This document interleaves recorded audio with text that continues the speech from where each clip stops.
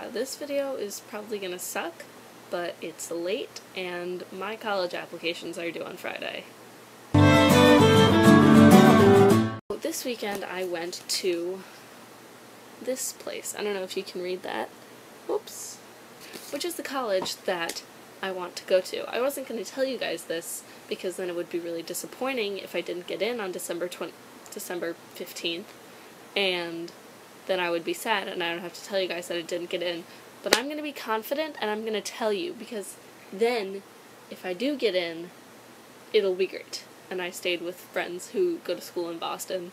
And it was really fun and it was nice getting the whole college experience and, you know, it'll be nice to live on my own next year and not have to, you know, answer to anyone, which is a very teenagery thing to say, but you know, I think it'll be nice. Kelly, you asked me to talk about something that I'm really passionate, so I'm going to talk about Emerson. And maybe an admissions counselor from Emerson will see this this video and they'll be like, "She loves our school so much that she even made a YouTube video about it, so we have to accept her." So I'm going to talk about Emerson. Well, Emerson is a school uh, for communication and the arts, and I don't know if you guys know about this, but I want to be a film production major.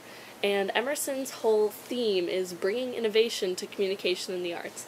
And they, this might be actually really boring to you guys, but I'm going to talk about it anyway. But they, they integrate liberal arts education with whatever you want to major in. So, since I'm studying film, I can also do like sociology and psychology because those are things that affect the way a person watches a film and the way a person acts in a film and makes a film. So, that's why I love Emerson because it's not one sided and they also train you to actually get a job. It's just not like a theory. They know they teach you how to actually do the stuff that will get you a job. So I really want to go there. I also it's just I fit in with everyone there. I feel very at home when I go there. I think I'll be happy there. So hopefully uh, when I send them my application and I say, "Hey, I like you guys. Do you like me back?" They will send me a letter back and they will say, Yes, we like you. Come with us to the place of learning in the metropolis of Boston, and it will be great. Okay, I'm gonna reinstate the challenge that I made, I think, two weeks ago, um, because no one ever did it. So, I think that someone should do my challenge, but Kelly, you don't have to still be the person. I'll pick a new person. So the person that I pick has to go to barackobama.com and find someone to call in anywhere. Just convince them to vote for Barack Obama, and you'll be making a better world. Oh, Kelly again. Well, Kelly, if you really have issues with it, I can select a new person, but you know, I think you can handle it. I forgot to say my movie of the week last week, um, and my movie of the week is not out yet.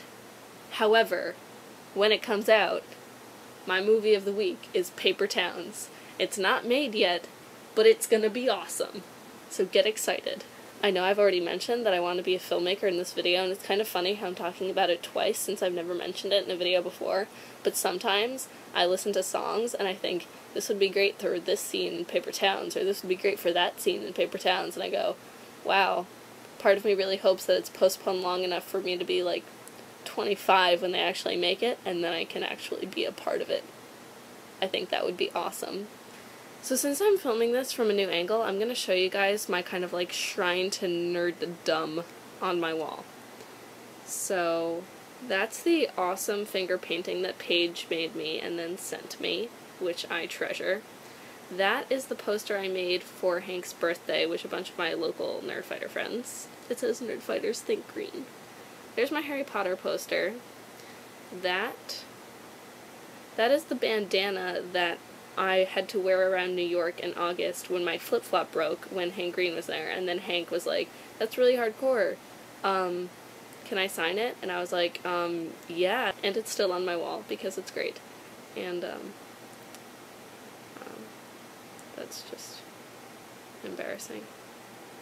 Okay, bye.